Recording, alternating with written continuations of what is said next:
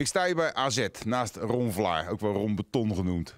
Maar je bent wel heel vaak geblesseerd geweest. Zo betonnerig ben je eigenlijk niet. Zondag eh, tegen je oude clubpie. Ja, Is dat niet een beetje hetzelfde als dat je bijvoorbeeld een nieuwe vriendin hebt en daarmee staat te zoenen terwijl je ex staat toe te kijken? wauw. Het is gewoon pijnlijk.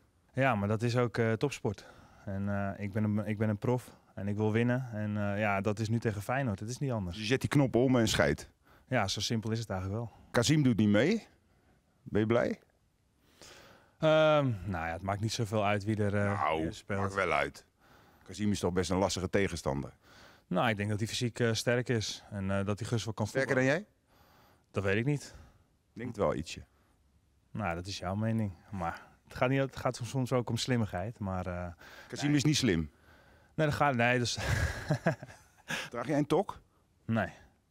Je hoort tegenwoordig heel veel over seksuele intimidatie. Heb jij zelf ook wel eens eh, wat eh, meegemaakt? Ben je eh, ergens wel eens aangeraakt waar je liever niet aangeraakt had willen worden tijdens de wedstrijd? Mm, dat kan ik me niet herinneren.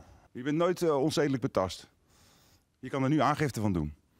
Ron, die gaat al heel wat jaartjes mee. In hoeverre is, is een clubgevoel voor een moderne voetballer nog belangrijk?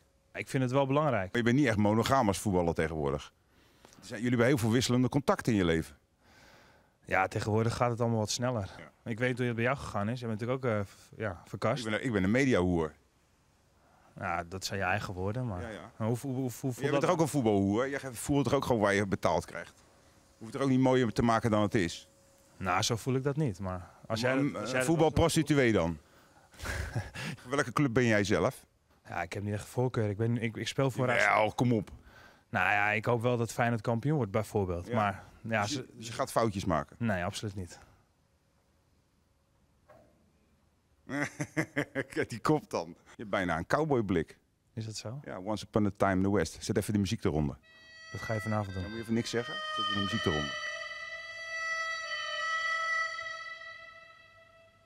Ron, zou jij ooit het veld afstappen zelf? Als er bijvoorbeeld oerwoudgeluiden gemaakt wordt of iets anders? Als ik het hoor en het gebeurt bij onze eigen supporters, dan... We moeten een statement maken, denk ik. En we moeten dat gewoon niet tolereren. Oké, dus eh, als er zondag oerwoudgeluiden zijn, ben jij weg. Ja, dat, Zullen we eh, het zo afspreken? ja, is goed. Nou, dan ben ik serieus. Ga je goed, kerel. Dankjewel, jij ook. En succes zondag. Dankjewel.